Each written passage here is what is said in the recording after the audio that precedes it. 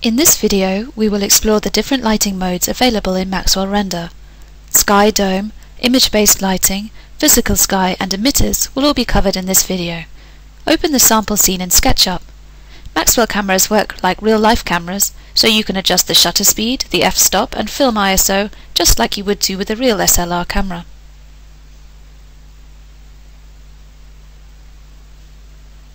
The available environment options are accessible from the Maxwell environment icon.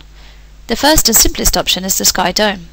You can adjust the intensity and color of the dome light. The sky dome color is set in the Windows Styles menu under the Edit tab. Set a pale gray as the background color.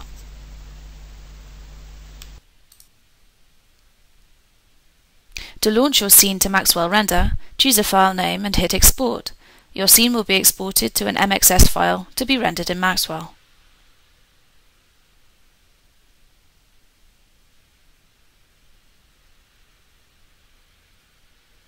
The sky dome creates nice, smooth lighting with soft shadows.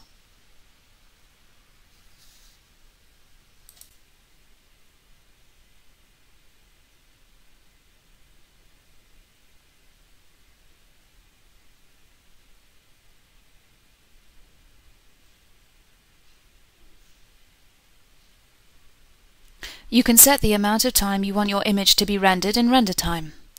The longer the render time, the cleaner the resulting image will be. You can also set the desired sampling level you want your image to reach. The sampling level is a measurement of image quality. So in the same scene, frames with the same SL will show the same amount of noise.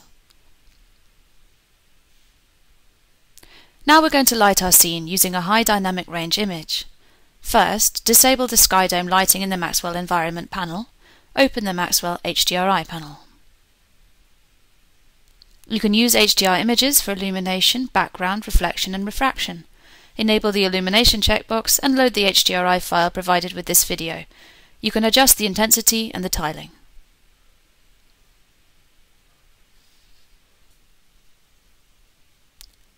Export the scene to Maxwell Render.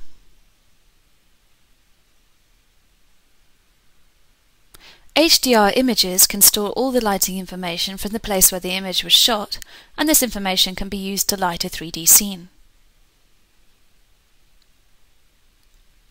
Image-based lighting is a good option when we want to mimic a real-life lighting in our 3D scenes.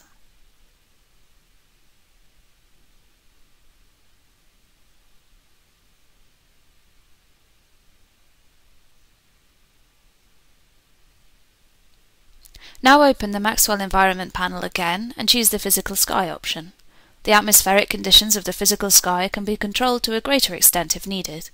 Disable the HDRI illumination. The window model and info location sections allow you to control the geographic location from a list of cities.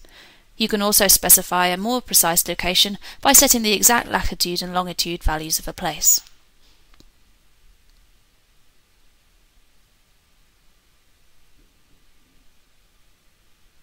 You can set the date and time in the Window Shadows panel.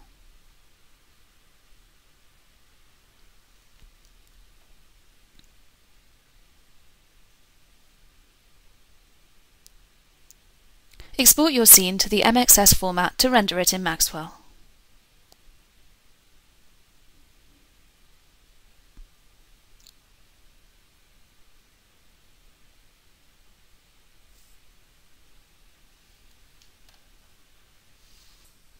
Maxwell Render allows you to control the exposure of the image if you think it's too dark or too bright. You can use the film ISO and shutter sliders to adjust the exposure during and after the rendering process. The lighting information is stored in the MXI file that is generated during the render process, and this file should be preserved if you want to make further exposure adjustments or to resume the render after stopping it.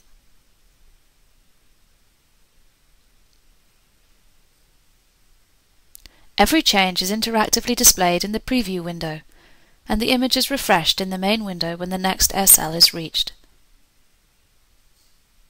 The physical sky allows you to create realistic, accurate and natural illumination, and it's easy to use.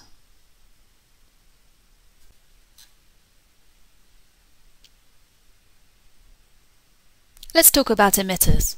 To test the illumination from the emitters, first disable all the environment options by ticking the No Environment checkbox. The Scene 2 camera offers a more distant view. In Maxwell Render, light is emitted by actual objects with an emitting material applied to them. A simple plane is enough in most cases. Leave the Maxwell Material icon enabled to create Maxwell materials. Create a new in-model material using the Window Material panel and name it Emitter 1. The Maxwell Material window will pop up. From here you can create or load your Maxwell materials. Check Emitter to create an emitting material. Like in real life, you can adjust the light intensity of the emitter in Window. Assign the first emitter material to a plane object to create an area lamp. Create another emitter material and assign it to another plane. You can use the color wheel to choose the light color.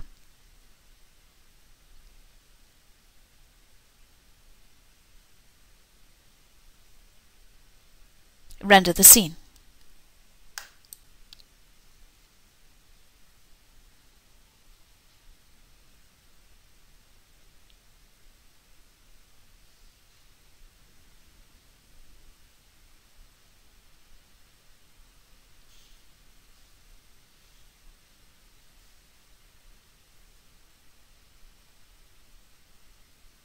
The scene is now lit by the emitters. You can adjust the camera ISO and shutter to change the exposure if you find the image too dark or too bright. If the render is stopped, you can use the refresh button to update the image in the main window.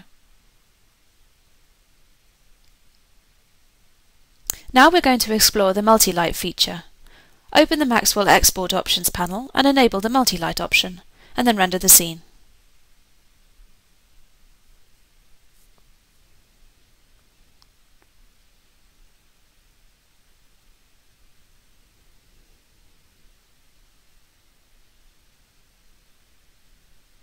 When the multi-light option is enabled, Maxwell Render stores the contribution of each light separately and creates a slider for each emitter, allowing you to adjust the contribution of each emitter independently.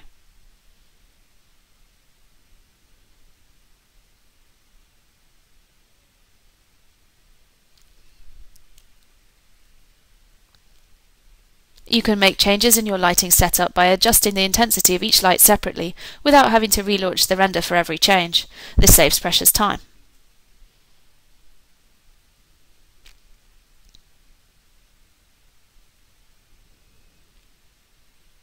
Let's talk about the camera focus. The f-stop parameter not only controls the exposure, but also the depth of field or the depth of the in-focus area. The lower the f-stop value, the smaller the in-focus area, and vice versa.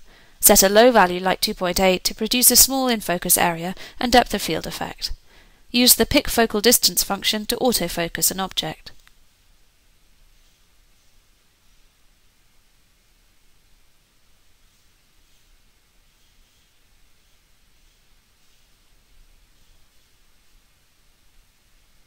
The second cup appears in focus, while the surrounding objects appear blurred. Try a higher f-stop value, like 22, to make all your objects appear in focus.